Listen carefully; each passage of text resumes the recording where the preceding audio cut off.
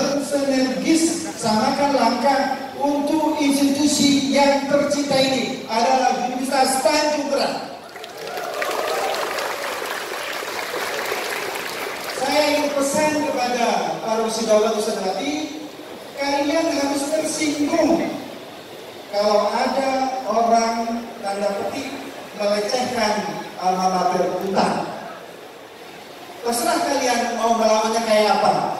Apakah melawannya dengan akal sehat, pikiran sehat, hati yang tenang, hati yang sejuk, atau pakai salam merdeka. Ya. Tetapi saya tidak ingin yang terakhir itu. Kita adalah orang-orang cerdas. Karena kalian sudah dididik untuk jadi orang pintar. Mudah-mudahan menjadi orang terdidik. Karena mendidik itu tidak mudah daripada mengajar.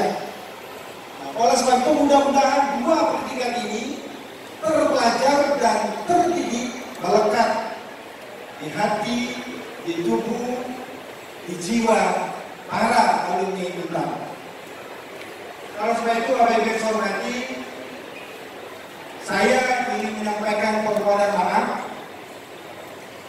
selama saya memimpin dan tentu saja bersama para wakil rektor ingin menyampaikan permohonan maaf selama dua kali dua kami Universitas Tanjung ini dan kami yakin sebagai manusia yang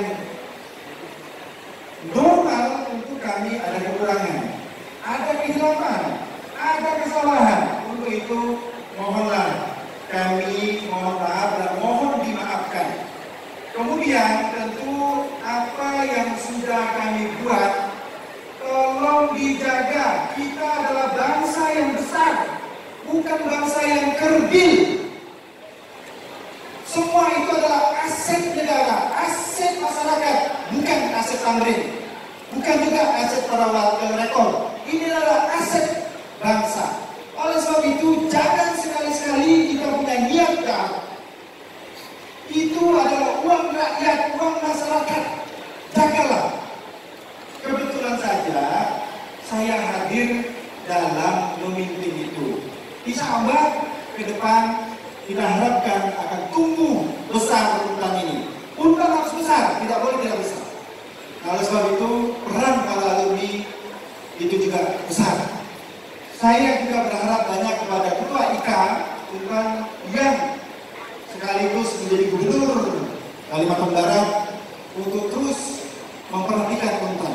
Insya Allah keinginan beliau akan direspon oleh para rekan di Indonesia Tanjung karena tujuan kami tidak lain untuk memberikan uh, kemajuan uh, baik itu masyarakat di Kalimantan Barat maupun di tempat lain. Saya pikir itu terima kasih, selamat berjuang dan selamat sekali lagi sampaikan kepada Bapak Profesor Haji Dr. Haji Garuda Wiko yang nanti insya Allah akan dilatih dan mulai Senin depan akan memulai tugas amanah beliau sebagai rekor Indonesia Gula tahun periode 2019-2023. Selamat sekali lagi. Assalamualaikum warahmatullahi wabarakatuh.